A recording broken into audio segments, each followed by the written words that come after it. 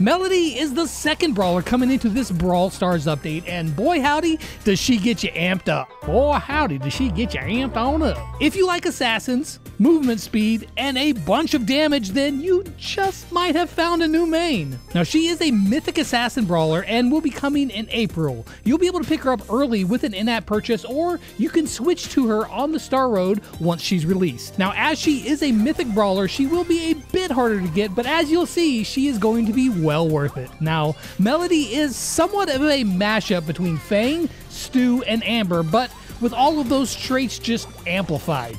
Her main shot is a single shot like Fang that has a similar range to Penny, but it's way, way faster. It only deals 920 damage at max level, but plain and simple, her main shot isn't her primary way of dealing damage. For every shot that she hits, a musical note starts spinning around her, similar to Amber's Dancing Flame gadget. And like that gadget, she can build up to three notes spinning around her. If one of these notes hits you, it deals 1,840 damage. They will continue spinning around her for 8 seconds before fading. However, you can boost the length that they last by 25% with her second star power called Extended Mix. It takes four shots to build up Melodie Super, which has three charges. Using the Super lets you dash a pretty long distance, like Stu or Mortis. Now, all three dashes must be used before you can build up any more Super, so the basic idea here is use your main shot to build up your Super, and then use it to get close to people and let your notes do the bulk of the damage. And to get around even quicker, you can use her first star power called Fast Beats. With the star power, she will gain a 8% movement speed buff for every musical note that she has active, meaning that she can get up to 24% faster if she has all three notes around her, which speed is an insanely good trait, and I feel like this star power is just better overall. Now I'll show you how all this comes together in a game because it's honestly kind of nuts, but first, let's see how she fares in base level interactions. Now as we get things underway with the damage dealers, you'll notice that I have them at a slight angle angle. I did this because when Melodie's musical notes spawn, they come out in this direction, and this enables them to start dealing damage right away. Now, normally you would want to build up all of these notes before getting up close and personal, but here, in this test, she doesn't have that luxury. Shelly is able to pull out a win with the help of her band-aid, but there are some others here who weren't as lucky, like Carl, whose shots travel too slow and the notes build up, dealing consistent big damage. However, when she's this close, other brawlers like Chester, who can cycle to the strong shots, he's just too much for her to withstand, even if she does have a substantial amount of hit points. But for the most part, you'll see that her extra damage builds up decently fast thanks to how fast she can unleash her attacks, and with those notes spinning standing right on top of an enemy, it equates to a lot of damage. Now, for brawlers like Lola, she can't take the punishment before falling, and the same holds true for brawlers like 8-Bit as well. In fact, quite a few of these damage dealers take down the new assassin because even though she can deal a lot of damage, it's a steady stream of damage that doesn't get helped out too much by her main shot. Her main shot basically enables her to deal damage rather than being the damage itself. Now, in a game, these interactions are going to look, well, quite a bit different. She's an extremely dynamic brawler, and while knowing these base interactions are good, it's never a substitute for how a game actually plays out. She'll be able to deal damage fast, she'll get in and out, which will make her incredibly hard to hit. And if she does get herself into a tough situation, she can use her second gadget called Interlude. With this, she gains a 15% shield for each note surrounding her, so if all three notes are present, that's a 45% damage reduction, which is extremely strong. Her other gadget, however, will actually be useful as well, especially when she doesn't want to get really close to brawlers brawlers like the tanks. There are very few brawlers in the game that can stand toe to toe with these big bruisers and live to tell the tale, and Melodie, well, she's no different. She gets overpowered by brawlers like Bull and shut down the same way by Daryl. And while she does a huge chunk of Frank's health, she still ends up on the losing side. The story is the same for Ash, although it's much closer. Meg once again gets knocked out of mech form, but still manages to win, although Melodie does make it interesting against Buster.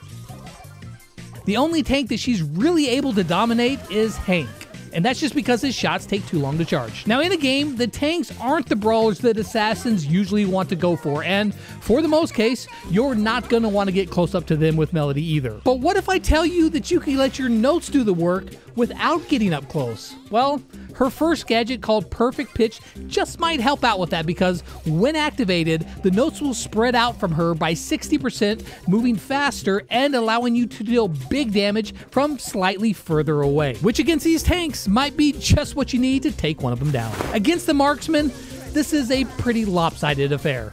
On one hand, you have a fragile long range brawler, and on the other side is a tanky high damage dealing assassin, so yeah, she wins these. Well, most of them. She is able to be burst down by the likes of Nani, but, well, Nani can take down pretty much everyone if she lands all of her shots. I can already hear Brock calling for a nerf, and others like Belle, well, they're wishing for that too. Now, the other new brawler, Angelo, just doesn't have enough time to charge up that power before she does. Plain and simple, this is just a big mismatch for almost all the brawlers here, and in a game, it might be just as ugly.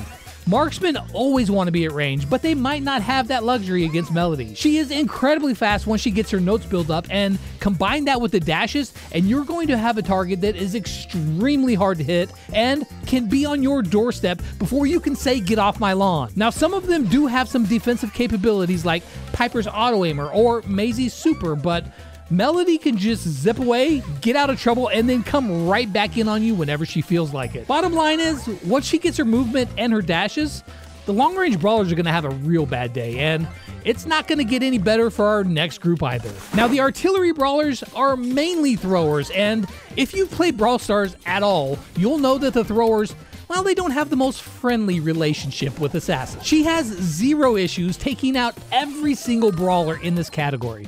The throwers don't have a lot of health, and once those notes start coming out, they are in a world of hurt. Now, Mike is the closest, as he might have stood a chance if he was able to get off that last shot, but Tick, once again, just gets pummeled. Now, the good thing for this category is that Melodie doesn't have a way to break walls nor get over them. Now, she can get around them and in a hurry, and if you're really close to a wall, well, her notes can hit you through it anyways, as well as by her activating her gadget, that range is extended, and that makes it so where you just can't hug a wall when Melodie is near. Now, luckily for them, she can't leap walls like Edgar, but make no mistake, the throwers will not be happy to see her on the other team, as she is a deadly assassin, but how does she fare against the other assassins? Well, now there are a few different types of assassins in Brawl Stars. Ones that rely on surprise and fast burst damage like Leon and Edgar. Ones that annoy you and will bide their time looking for that perfect opportunity to strike, like Crow and Fang. Now, there are tanky ones that can bully you out of a position and just fly right in on you like Buzz and Sam. And finally, you have ones that are all about mobility and can be in and out without you being able to counter them, like Mortis and Stu. Melodie, however, is a different type though. She combines the traits of Stu and Fang with the mobility of Mortis. And in these matchups, she does okay. She wins some, she loses some, and in a game, that's going to be the case too. However, if she finds herself in a bad situation, she has the ultimate mobility to get away fast with her dashes, and you do not want to be chasing her closely as you're going to be taking a beating from those notes. I think that she's going to fit in very nicely with this group, although I do feel like she will be more mobile for most of the game. Now, support brawlers are not known for being like incredibly strong brawlers. I mean, yes, some of them are quite stout, like Pam, and even the new improved Doug. However, the rest of these brawlers, they're going to have a real hard time matching up against Melodie. She's far too mobile and hard to pin down, but lucky for the support brawlers, they have teammates with them that are usually there to watch their backs, which it looks like Byron could use some help right about now. Now, in a game, this is it's just a really bad matchup for the support brawlers. They just don't have the DPS to deal with Melodie. Now some of them do have means of escaping the charging Melodie like Gray, but if she's keeping you busy and keeping you away, then your team's already in a bad spot. Now, Doug or Pam are probably the best counter of all of these brawlers, but even then, it's not going to be easy sledding. If Melodie is coming for you, then you might just want to get away. Much like our last set of brawlers wish they could do as well. Our last group has 14 brawlers in it, and they all really vary in both style and power. Some of them, like Griff, can take out anyone unlucky enough to wander too close, and Bo has been strong for quite a while. However, if Emz was in her max damage area, she would have easily won. Gale, however, can't win like he did against Angelo, but Mr. P is able to get double damage on those suitcases and wins the match before Melodie can hit those high notes. Now, Lou comes awfully close, but Even frozen, her notes keep spinning and causing damage. Squeak gets all of his damage off, but it's just not enough, and Willow, well, she doesn't have enough time to build up her damage either. Now, Otis comes pretty close with his new buff, but still loses, and Gene fires all of his shots before realizing there's nothing left and succumbs to Melodie's damage. And finally, Charlie, even at this close range, she just can't seal the deal. So then, you have seen Melody 1v1 versus every brawler in Brawl Stars. How good is she going to be? Well, it's actually kind of hard to say because just kidding. It's actually pretty easy to say she's going to be good. She's going to be real good. But even more importantly, you're most likely going to love playing her. The action is non stop. She moves incredibly fast, she can dash across the field in an instant, and while relying on her notes to do the damage is a bit awkward and will take a bit of practice to get that range just right, once you do, you're going to be all over the field and wrecking other brawlers along the way. I think that she's going to be really good in most modes, especially ones like Brawl Ball, where she has massive big play potential. That's it for this update. I'll see you guys in the next one.